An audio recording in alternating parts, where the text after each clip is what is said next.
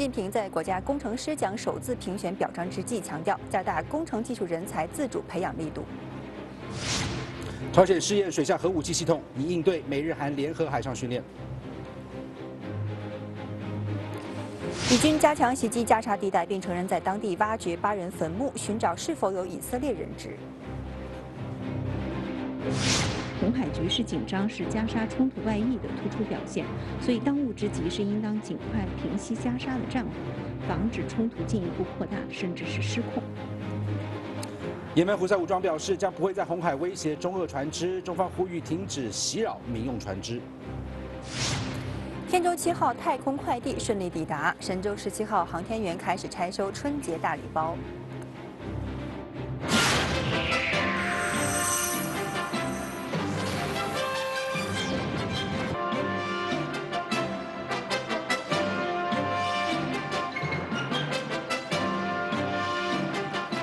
欢迎搭乘时事直通车，凤凰卫视中文台、资讯台、香港台、欧洲台、美洲台为您环球报道。我是田彤，我是江生阳。首先来关注今天的头条新闻：中国国家工程师奖表彰大会十九号在北京召开。那在呃首次评选表彰之际，中共中央总书记、国家主席、中央军委主席习近平做重要指示，向那些受表彰的国家卓越工程师和国家卓越工程师团队致以热烈祝贺。习近平指出，工程师是推动工程科技造福人类、创造未来的重要力量，是国家战略人才力量的重要组成部分。这次受表彰的个人和团队是我国广大工程技术人员的优秀代表，是广大工程师的榜样。习近平强调，面向未来，要进一步加大工程技术人才自主培养力度，不断提高工程师的社会地位，为他们成才建功创造条件，营造见贤思齐、埋头苦干、攻坚克难、创新争先的浓厚氛围，加快建设规模宏大的卓越工程师队伍。希望全国广大工程技术人员坚定科技报国、为民造福理想，勇于突破关键核心技术，锻造精品工程，推动发展新质生产力，加快实现高水平科技自立自强，服务高质量发展，为以中国式现代化全面推进强国建设、民族复兴伟业作出更大贡献。中共中央政治局常委、党和国家功勋荣誉表彰工作委员会主任蔡奇出席表彰大会并讲话。中共中央政治局常委、国务院副总理丁薛祥出席表彰大会，并传达习近平重要指示。蔡奇指出，党的十八大以来，广大工程技术人员创造了举世瞩目的骄人业绩，培养造就大批德才兼备的工程师，是国家和民族长远发展大计。要着力完善自主培养体系，着力营造良好创新环境，充分调动工程技术人员积极性、主动性、创造性。凤凰卫视综合报道。朝中社十九号报道，朝鲜因应美日韩挑衅性的军演，进行水下核武器系统实验，并称水下核应对态势正在进一步完善。朝鲜国防省发言人十九号发表了“绝不容忍冒险的军事对抗狂热”的谈话，指从年初起，美国、日本和韩国不断热衷于挑衅性的军事训练。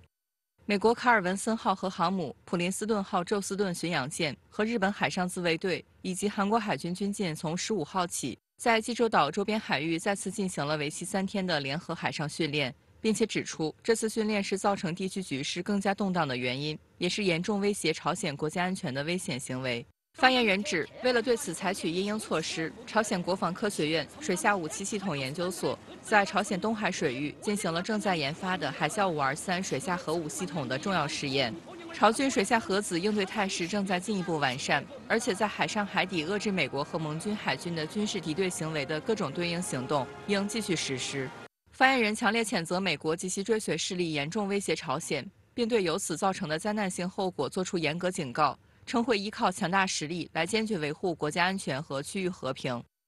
韩联社报道则指，所谓水下核鱼雷的海啸是朝鲜研制的核无人潜水攻击艇。朝方于去年三月二十八号发布研制完成海啸一并首次进行试验的消息，四月八号发布海啸二试验消息。从海啸五二三的名称来看，朝方可能在至今的九个月里对海啸系列的性能进行改良。与前两次试验不同，朝方这次未提及航迹、续航时间等资讯。凤凰卫视综合报道。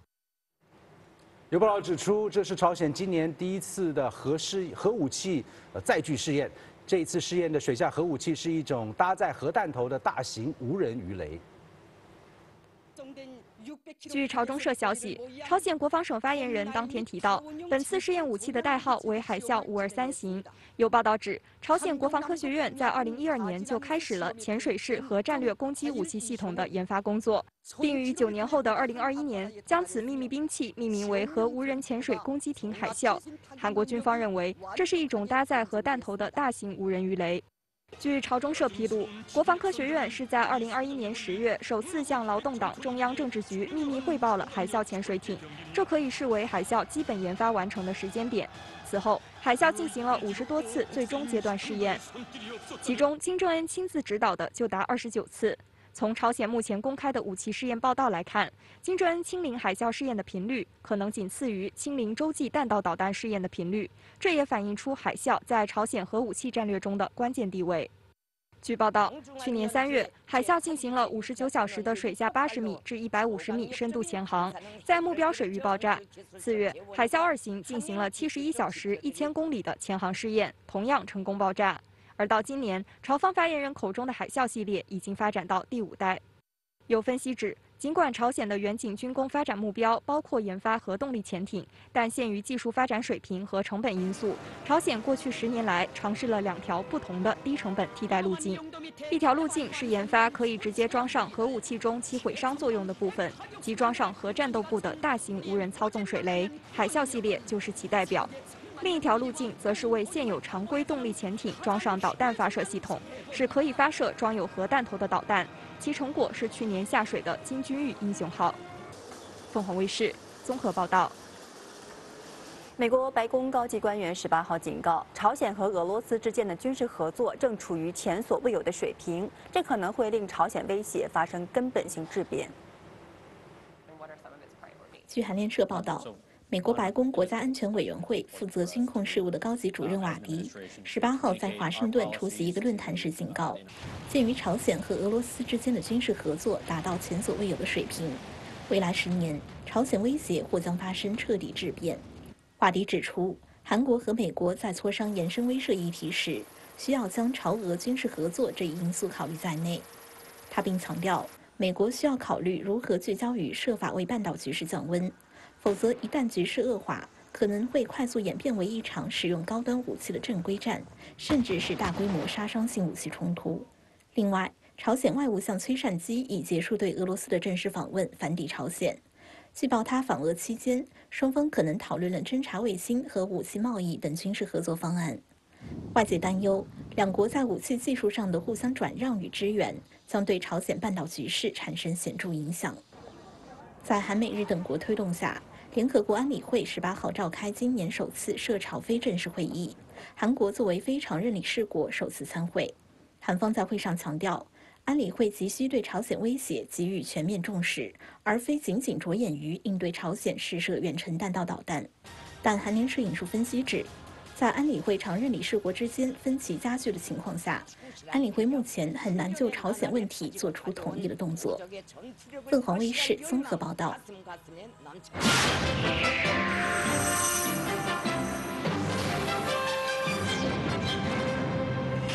朝鲜水下核武器系统试验对美日韩会有多大的威胁？节目当中，我们邀请到辽宁大学国际经济政治学院副教授李嘉诚先生，我们做更进一步的分析。李先生你好，我们看到朝鲜在新的一年是动作不断，朝俄合作也让美日韩神经紧绷。但是呃，朝俄合作向外界透露的信息是少之又少。你认为美日韩将如何应对？呃，我们知道今天朝鲜方面爆出这个进行了水下核武器的系统实验，那么这个恰好是在美日韩呃进行联合军演之后，呃，那么朝鲜国防省也是呃说出了这次呃进行核武器实验的一个缘由，啊，就是为了应对美日韩的这个核联合军演，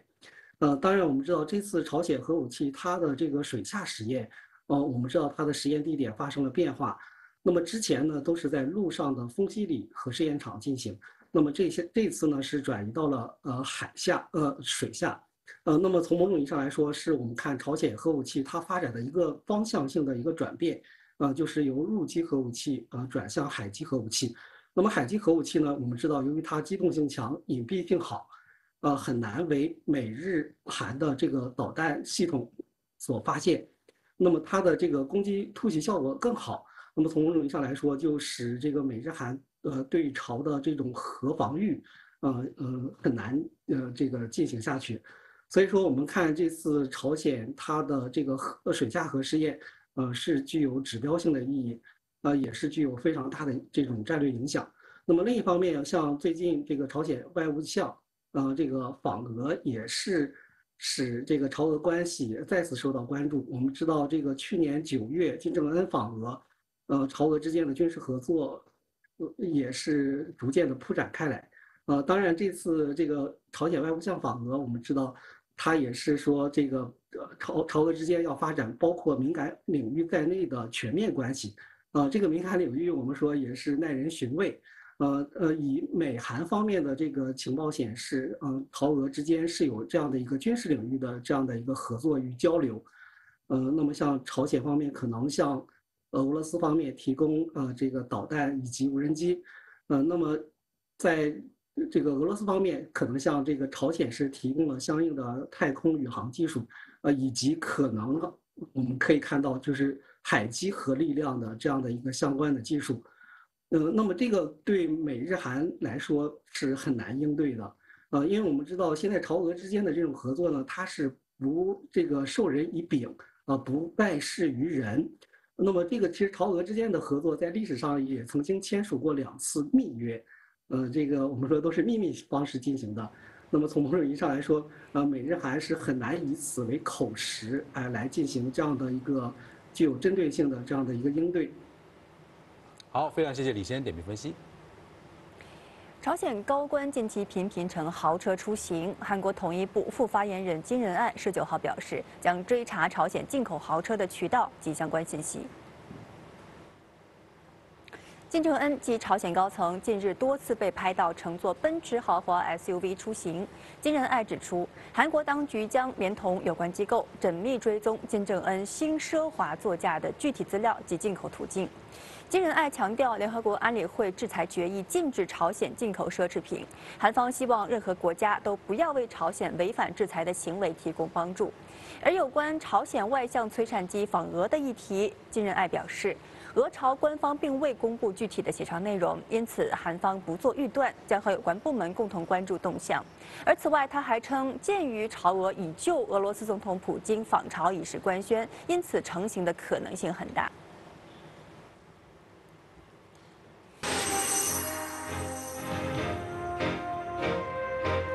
中共中央政治局常委、全国政协主席王沪宁十九号在北京会见由日本社民党党首福岛瑞穗的率领的代表团。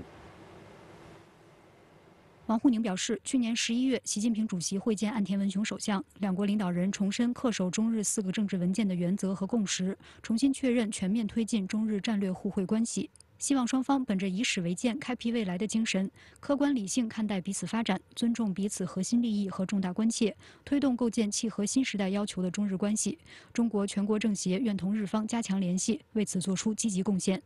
福岛瑞穗表示，社民党此访的主要目的是再次确认日中和平友好。日本发动对华侵略战争，给中国带来巨大伤害，他表示由衷歉意。社民党愿推动日中关系在双方四个政治文件基础上健康发展。凤凰卫视综合报道。中共中央政治局委员、外交部长王毅十八号在巴西利亚会见巴西外长维埃拉。王毅表示，中方愿以中巴建交五十周年为契机，推动中巴全面战略伙伴关系迈上新台阶，展现新活力，开辟新境界。维埃拉表示，今年是巴中建交五十周年，具有重要特殊意义。近年来，巴中关系持续稳定发展，合作领域不断拓展。巴方愿同中方加强沟通协调，落实好两国元首重要共识，充分发挥两国各层级各领域合作机制作用，进一步深化互利合作。期待以主办二十国集团领导人里约峰会为契机，加强巴中高层交往，为双边关系注入强劲动力，引领巴中友好合作迈向前景更加广阔的下一个五十年。王毅表示。中方珍视中巴友好，愿以中巴建交五十周年为契机，筹备好双方下阶段高层往来，规划好建交周年庆祝活动，推动中巴全面战略伙伴关系迈上新台阶，展现新活力，开辟新境界。王毅表示，世界进入新的动荡变革期，中巴作为东西半球最大发展中国家和新兴市场经济体代表，应加强团结合作，共同应对全球性挑战。中方支持巴方主办二十国集团领导人里约峰会，支持巴西在国际和地区事务中发挥更大作用，愿同巴方携手构建持久和平、普遍安全、共同繁荣、开放包容、清洁美丽的世界，呵护好人类居住的唯一星球。双方高度评价中巴合作的战略意义和全局影响，将共同办好即将举行的中巴第四次外长级全面战略对话，就双多边广泛议题进行深入战略沟通。而十九号，王毅外长将同卢拉总统的特别助理前外长阿莫林进行会谈，之后在外交部的大楼举行大范围的会议和记者会。而下午，王毅外长将同卢拉总统会面。凤凰卫视林卓韵巴西报道。以色列军方据报，在十九号是空袭和地面攻击加沙北部地区，中部和南部也都有多人遇袭受伤或身亡。加沙已经连续七天通讯几乎完全中断。另外，以军承认在当地挖掘八人坟墓，目的是寻找是否有以色列人质在死后被埋葬。加沙地带南部哈尤尼斯十九号继续遭到以军炮击，市中心多次遭到空袭。以军也密集攻击阿马尔医院周边地方，在十八号晚间有房屋中弹，一瞬间成为废墟，夺去五人性命。杰巴利耶难民营的市集被夷为平地。加沙城西法医院附近一幢居民楼遭到空袭，造成十多人死亡，数人受伤。据报，以军的炮艇炮击加沙北部沿海地区。约旦河西岸城市那布鲁斯和附近图勒卡尔姆难民营深夜再次遭到以军突击搜查。在图勒卡尔姆难民营的搜查行动长达四十四小时，在十九号结束，有数名巴人遭以色列部队杀死。以军又用推土机破坏难民营入口的道路。以军当天表示，行动中起获大量武器，并逮捕了三十七名被通缉的人。以色列国防军表示，巴勒斯坦伊斯兰圣战组织负责宣传的头目瓦埃勒在十八号以军的一次空袭中死亡。瓦埃勒曾经发布对以色列发射火箭弹袭击等多条视频。巴勒斯坦指控许多在加沙不同地点的坟墓遭到以军掘起，有人指八人尸体被盗去，也有报道指部分尸体就被搁在坟墓旁边。以军承认掘开墓穴，并指是为了寻找有没有以色列人质已经死亡而被埋葬。凤凰卫视综合报道。也门胡塞武装高层接受采访表示，中国和俄罗斯的船只在红海航行时不会受到威胁。中国外交部则表示不了解具体情况，同时呼吁停止袭扰民用船只，维护全球的产业链、供应链畅通以及国际贸易秩序的稳定。根据塔斯社十九号的报道，胡塞武装政治局成员穆罕默德·巴基蒂在接受俄罗斯媒体的采访时表示，来自俄罗斯和中国等国的船只可以安全通过红海，在该海域航行时不会受到威胁。我不了解你提到的情况。我想重申的是，红海水域是重要的国际货物和能源贸易通道。我们呼吁停止袭扰民用船只的行为，维护全球产供链的畅通和国际贸易秩序。中方一直强调，红海紧张局势根源在加沙冲突持续，当前紧迫需要避免给红海的紧张局势火上浇油，需要避免推高地区整体的安全风险。红海局势紧张是加沙冲突外溢的突出表现，所以当务之急是应当尽快平息加沙的战火，防止冲突进一步扩大，甚至是失控。凤凰卫视霍伟伟、叶不见北京报道。巴基斯坦信息部长索兰吉十九号表示，巴基斯坦当天召开国家安全委员会会议，就与伊朗的对峙展开安全评估。巴基斯坦总理卡卡尔主持会议，巴基斯坦所有军事首长全部出席。索兰吉指出，召开这次的会议主要是为了在近期与伊朗发生冲突之后审查国家安全。巴基斯坦十八号对伊朗边境村庄发动空袭，作为对伊朗十六号越境空袭巴基斯坦的回应。但双方外长通话之后都表态，希望缓和紧张局势。巴基斯坦总统阿尔维也表示，希望通过对话协商解决分歧，但同时强调，巴基斯坦不会在国家安全和领土完整上妥协，将采取一切必要措施保卫自身领土。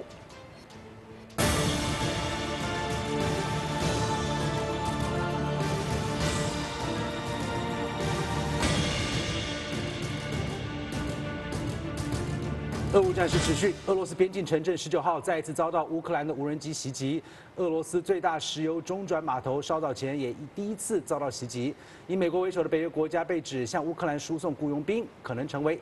呃变相参战的又一个证据。俄罗斯西部接壤乌克兰的布良斯克州十九号再遭乌军多架无人机袭击，克林奇镇上一处储油设施起火，火舌裹挟黑烟从油罐中喷涌而出。当局出动十三辆消防车投入救援。州长指，乌军一架无人机被电子战手段击落，但其所携弹药击中多个油罐。目前火势已受控，暂无人员伤亡。俄方指，较早前乌军并试图对圣彼得堡一座石油码头发动无人机袭击，但遭到挫败。这座码头是俄罗斯在波罗的海沿岸最大石油转运码头。乌媒引述乌军方消息指，无人机确认命中目标，油指多辆油罐车爆炸，引发大火。另一方面，在乌克兰战场，俄空天军攻击机继续对顿涅茨克方向乌军发动空袭。西部集团军近卫坦克军则在库皮扬斯克方向借乌军部队轮换之机，声称打死至少十名乌军，并摧毁多架装备。法国被指资助雇佣兵在战场驻乌作战。俄国防部早前声称，在哈尔科夫歼灭至少六十名外国雇佣兵，多数是法国人。俄国家杜马主席沃洛金十九号表示，鉴于法国明文立法禁止雇佣兵交易，俄方计划正式向法国民议会提出质询，要求其就此事作出解释。法方则否认有关指控，同时不点名的指认法国不像某些国家向乌军增援雇佣兵。俄卫星通讯社引述评论指，以美国为首的北约和欧盟高调向乌克兰提供资金和武器，却羞涩地隐瞒其资助和武装外国雇佣军的事实。乌克兰背后的西方金主才是决定战争继续还是结束的人。凤凰卫视综合报道。十八号，在顿巴斯北线的恰索夫亚尔、红利曼等三个方向，俄军至少集结了二十万兵力，企图打出至少三个突出部。来看本台记者发自顿涅茨克前线态势的综综述。星期四，俄罗斯武装部队改变了重点的进攻的方向，其中在顿巴斯中北线，俄军攻击和发展在马林卡以南米海洛夫卡宽阔的战线上。俄军向沃迪亚诺耶方向实施了推进，其目标之一就是在乌格莱达尔康斯坦丁诺夫卡路段。在巴赫穆特方向，俄罗斯武装部队攻击了巴赫穆特西北部的博格丹诺夫卡，并试图夺取这个制高点。据报道，俄军另一路伞兵穿插攻击了格里罗夫卡，这个村庄是通向博格丹诺夫卡的。重要的制高的节点，向东发展就是博格丹诺夫卡，向西南便是恰索夫亚尔。乌军幺五零步兵师等其他两个重装旅驻兵驻守在此段。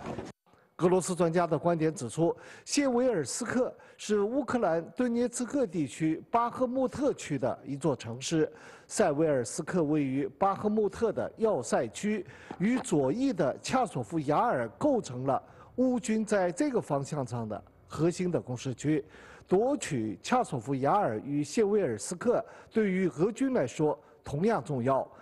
我们现在呢？位于呃顿涅茨克的呃北线，这里呢就是阿夫迪耶夫卡。我们可以看到呢，目前特别是两军在这个方向的呃军事态势呢，也是相当的一种对峙的呃态势之一。呃，当然了，阿夫迪耶夫卡的目前俄乌两军的呃所进行的对决呢，有许多专家表示呢，这也是呃一种呃佯攻。那么以上呢就是凤凰卫视卢宇光、伊万阿拉曼乌拉特在。顿涅茨克北线的报道。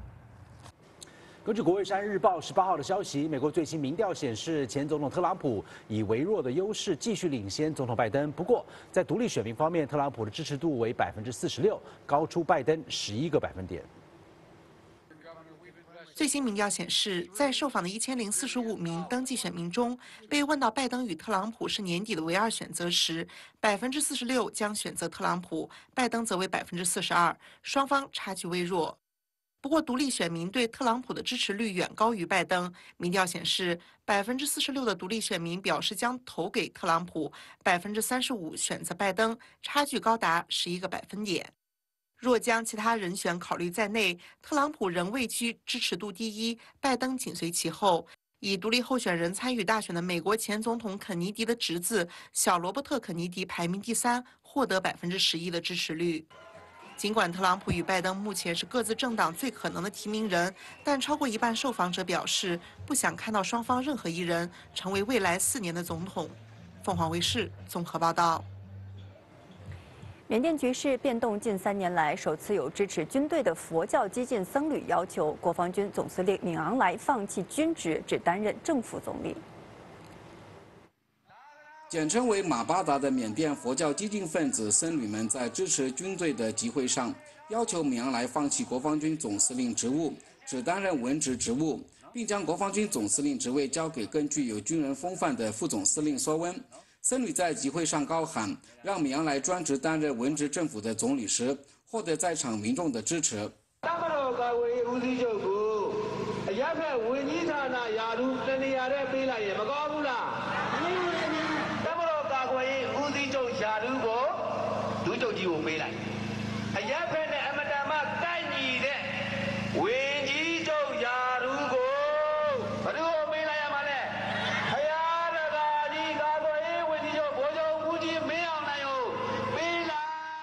零二一年初，缅甸军方推翻文职政府掌权近三年来，全缅各地的反军方势力持续加大。近几个月来，由于民族武装组织和革命力量的进攻，缅甸军队失去了许多城市和军事基地，所以支持军方的人士们在四十多个城市发起挺军队的游行，同时也对米昂莱主导的军事行动失败而感到不满，才提出要求替换军方首脑的诉求。目前缅北上邦战火有所缓和，但缅甸国内有议论认为，上北地区的停火协议非常笼统，停火没有确定领土范围，也没有包含禁止缅军发动地面攻击。虽然停火协议来之不易，但仍然很容易会引起争议。而缅甸军方发言人左敏吞说，军方将继续努力加强停火，将与中方协调，推动边境贸易重新开放。但现实中，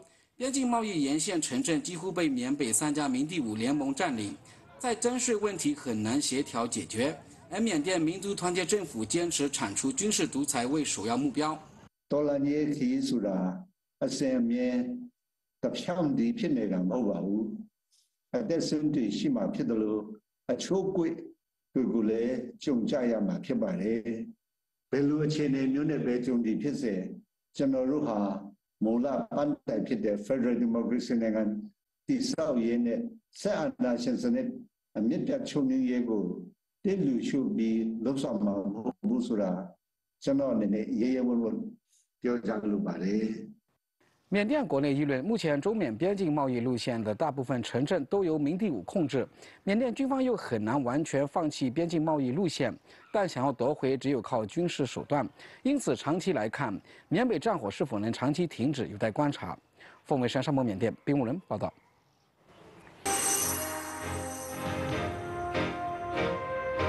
中国政治局委员、国务院副总理何立峰十八号在北京会见美国的前财长华平集团主席盖特纳。那会面中，呃，双方为中美关系、还有中美的经济、资本市场等议题交换各自的看法。那何立峰表示，中国经济保持回升向好的势头。高质量的发展扎实推进，前景十分光明。那中方将持续扩大高水平的对外开放，完善市场化的、法治化的、国际化的营商环境，欢迎华平共同参与中国资本市场建设，共享发展机遇。那盖特纳表示，华平已经进入中国三十年，是来华最早的全球资产管理投资公司，将继续深耕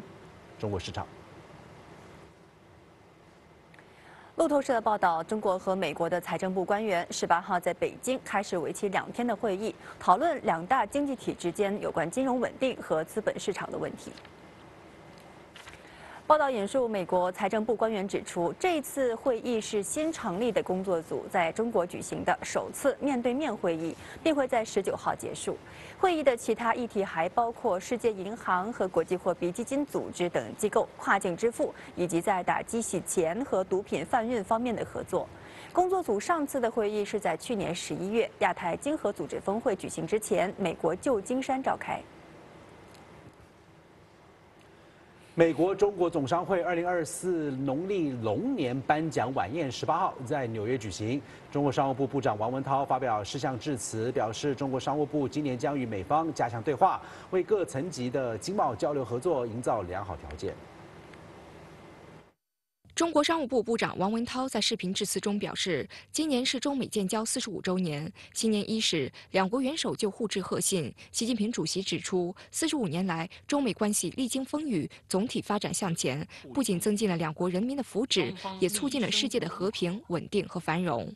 从经贸领域看，作为世界上最大的发展中国家和最大的发达国家，中美经济互补、利益交融。中美经贸关系的本质是互利共赢。王文涛强调，中美元首旧金山会晤达成重要共识，为两国经贸关系发展指明了方向。二零二四年，中国商务部将认真落实两国元首重要共识，在相互尊重、和平共处、合作共赢基础上，与美方加强对话，管控分歧，努力为两国企业提供稳定预期，为各层级经贸交流合作营造良好条件。中方将扩大高水平对外开放，持续优化营商环境，推动解决企业合理关切。希望美国中国总商会继续发挥好桥梁作用，为促进中美经贸合作贡献力量。凤凰卫视综合报道。对于印度官员表示，中印边境和平就可以放松对中国企业的审查。中国外交部十九号回应指出，近年来外界一直对于印度的审查有质疑，看来这些质疑不是空穴来风。印度工业和国内贸易促进部部长辛格十八号在达沃斯世界经济论坛上表示，如果中印两国在边境问题上保持和平，印度可以放松对中国投资的严格审查。近年来，外界一直质疑印方对中国在印企业采取的歧视性措施和选择性执法背后有其他考量。如果有关报道属实，恰好证明外界的质疑不是空穴来风。王宁说：“事实上，近年来中印双边贸易额连续突破千亿美元，呈现逐年增长的态势，这证明了两国贸易合作的韧性和潜力。”中方始终认为，中印边界问题作为历史遗留问题，应当放在双边关系的适当位置上，妥善加以处理。中印边境局势总体保持稳定，边境事态的解决进程不应影响两国关系的正常发展。中国外交部表示，希望印度能够充分地认识到中印经贸合作互利共赢的本质，为中国企业在印度投资经营提供公平、公正、透明和非歧视的营商环境。凤凰卫视霍伟伟、叶不见北京报道。中国工业和信息化部十九号在国新办的记者会上指出，从二零二三年各项数据来看，内地工业经济在波动中实现稳步恢复，总体呈现回升向好的态势。工信部副部长辛国斌指出，二零二三年全年规上工业增加值同比增百分之四点六等数据外，包括企业效益、工业投资在内的多组数据指标显示，内地工业经济在波动中实现稳步恢复。截至去年十一月底，规上工业企业亏损面自二零二三年四月起，连续八个月持续收窄。规模以上工业企业营业收入增速连续五个月回升。利润从去年八月份开始，连续四个月实现正增长。工业固定资产投资保持增长，同比增长百分之九。其中制造业投资增速自二零二三年八月份以来，呈现了加快的态势。辛国斌指出。工信部已会同财政部、人行等部门进一步引导金融资源，加大对制造业重点领域和薄弱环节的支持力度。目前已和内地二十二家金融机构展开战略合作，以适配优惠贷款、产业投资等方式支持研发活动。合作的结果，是吧？我可以用一组数据来说一下，就是制造业中长期贷款余额，呃，连续三年保持在百分之三十左右的增速，这个还是挺不容易的，啊，再一个呢，就是国家产融合作平台助企融资规模同比增长了百分之六十八，啊，也在不断扩大。另外，针对早前公开的内地汽车产销多项数据呢，工信部表示，在充分肯定发展成绩的同时，也要清醒地看到外部还正面临着需求不够旺盛，以及一些国家和地区还存在着滥用贸易救济措施、保护主义行径等不利因素。而在内部，多数新能源汽车企业还没有实现盈利，车用芯片等领域还存在着短板。那部分地方和企业还存在着盲目上马、重复新建新能源汽车项目等等一系列的问题，都需要引起高度重视，要采取有力的措施加以解决。凤凰卫视记者翁火、刘健北京报道。好来看内地两岸三地股市的收盘行情，内地沪深股市震荡调整，沪指今天大部分时间都在平盘的下方，尾盘跌幅收窄，收盘下跌百分之零点四七，深成指则是下跌百分之零点六八。从行业表面呃表现来看的话，旅游和酒店类股反弹，数字货币板块走势比较弱，港股再度反复下跌，市场信心不足，影响恒生指数开高走低，中午过后跌幅还扩大，逼近超过一年来的最低位。中场是收低百分之零点五四，而总结整个星期下来，恒指是累计下跌百分之五点七六，是去年八月十八号以来的最大周线跌幅。台湾股市量价齐升，台积电业绩比预期要好，股价大涨，再加上外资是大幅买超，带动加权指数收盘是上涨百分之二点六三，是超过一年来的最大涨幅记录。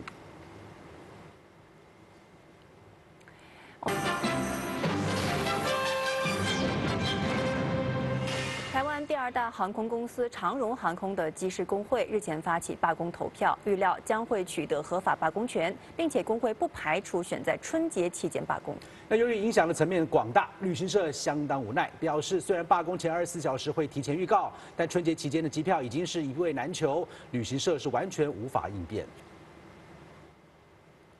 下个月是农历春节，不少台湾民众选择到海外旅游过新年。但长荣航空机师工会却抛出震撼弹，不排除在春节期间要发动罢工行动。因为接下来在二月份的时候就是我们的农历新年了，当然工会也不想要没有劳工想要去走到罢工，但是这是一个非常不得不的手段。如果必须要用这样的一个方式才能够唤醒公司对我们飞行安全的重视的话，那我们也只能够这么做了。机师工会日前指控长荣航空克扣成本以及人力严重流失，导致安全事故频传。上月初前往交通部抗议，但劳资争议调解没有进展，因此工会启动罢工投票程序，预期将会获得合法的罢工权，并于罢工前二十四小时提前预告。旅行业者相当无奈。啊，春节期间的这么这么旅游。算是一年当中最高峰的时候，那个完全是没办法，完全旅行业是完全没有应变的能力，因为二十四小时的作业时间，我们我们没有办法去做任何的调整了，会造成整个春节的严重的一种整个作业大乱了。二零一九年，中华航空公司的机师工会也曾在春节罢工七天，影响两万七千名旅客。航空公司和机师的业内损失达到六亿台币。长荣航空机师不排除要在春节期间罢工的消息传出之后，让计划到海外游玩的民众非常焦虑，不断呼吁劳资双方能够妥善沟通，避免旅客又成为协商破局下的牺牲品。凤凰卫视彭世廷、金敏怀台北报道。一传媒创办人黎智英被控违反香港国安法，案件进入第十三天的聆讯，控方从犯证人一传媒的前行政总裁张建侯继续出庭作证。十九号早上，黎智英、张建宏两人先后由囚车送往香港西九龙裁判法院。一传媒前行政总裁张建宏继续以从犯证人身份作供。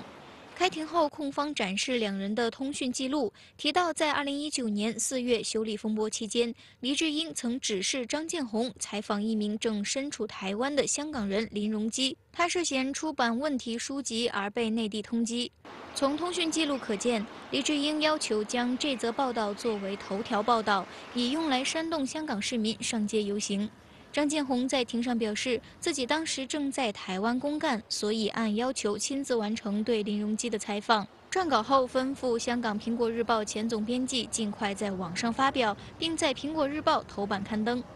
此外，控方也在庭上展示张建宏与黎智英在社交媒体上的一段对话。内容中，黎智英指示张建宏写煽动性语言毛笔字长翻，并印刷十万张，跟随《苹果日报》附送，用来鼓励订阅者张贴宣传反修例示威。张建宏做供指，因逃犯条例修订案已押后，以及有示威者自杀，最终并未在游行当日派发。控方在庭上展示张建宏曾发送给黎智英的短讯。内容提议将《苹果日报》订阅的三分之一收入捐给民政的支持示威人士的诉讼基金，获得黎智英批准。张建宏做供指，黎智英认为做法可以鼓励更多支持示威的人订阅《苹果日报》。法庭上，控方也要求张建宏确认黎智英是否曾前往美国与时任副总统彭斯会面。张建宏称，在黎智英回来后，自己才被告知，黎智英当时和彭斯以及时任美国务卿蓬佩奥等人见面，并形容黎智英与美国高官见面后感到雀跃，认为对香港反修例示威有帮助。张建宏也提到，自从黎智英访美后，对《苹果日报》的采编政策便越发激烈偏激，要求制裁中国以及香港官员的言论也有所增加。凤凰卫视王雨婷香港报道。神舟十六号航天员乘组十九号在北京航天城出席记者见面会。景海鹏、朱杨柱、桂海潮三名航天员从太空返回八十天之后，首次正式公开亮相。见面会上，航天员大队大队长陈冬介绍到，神十六乘组返回后的恢复期分为隔离恢复阶段、疗养恢复阶段和恢复观察阶段，目前已完成前两个阶段工作。乘组身心状态良好，体重稳定在飞行前水平，肌肉力量、耐力和运动心肺功能基本恢复到飞行前水平。景海鹏、朱杨柱、桂海潮三名航天员去年五月三十号乘坐神舟飞船飞向太空，于去年十月三十一号返回地球，在轨驻留一百五十四天期间，进行了一次出舱活动和中国空间站第四次太空授课活动，配合完成空间站多次货物出舱任务。为空间站任务常态化实施奠定了基础。凤凰卫视综合报道。神舟十七号航天员十九号上午打开天舟七号货运飞船舱门，开始接收太空快递。而天舟六号货运飞船已经在当天晚上的八点三十七分受控载入大气层。呃，飞船绝大部分的器件在载入大气层的过程中烧蚀销毁，呃，少量的残骸落入预定的安全海域。报告注意，我是北京。天舟七号舱门已打开。神十七航天员当天上午打开了空间站核心舱后向舱门，正式开始转运物资。细胞实验装置是天舟七号发射前在文昌发射场临时安装的生物实验项目。由于载荷安置在最外侧，它成为了航天员拆出来的第一件货物。此次太空快递共计为空间站带来六十一件实验载荷，包括实验单元及样品、实验耗材、备品、备件等。这些实验载荷将支持空间站开展空间生命科学、空间材料科学、微重力流体物理与燃烧科学等共计三十三项科学实验。另外，天舟七号货运飞船还为航天员们运送了2.4吨生活物资，重量超过货物总重的四成，能够同时保证两个航天员乘组的需求。其中还有为神十七乘组准备的龙年春节大礼包，为航天员营造一个祥和快乐的春节气氛。约九十公斤的新鲜果蔬大礼包也随天舟七号一同到达空间站。这一批果蔬包装设计经过优化，能让果蔬存储时间更长、更新鲜。凤凰卫视综合报道。感谢您搭乘二零二四年一月十九日的时事直通车，我是田彤，我是江晨阳。我们在香港祝愿全球和平、平安喜乐。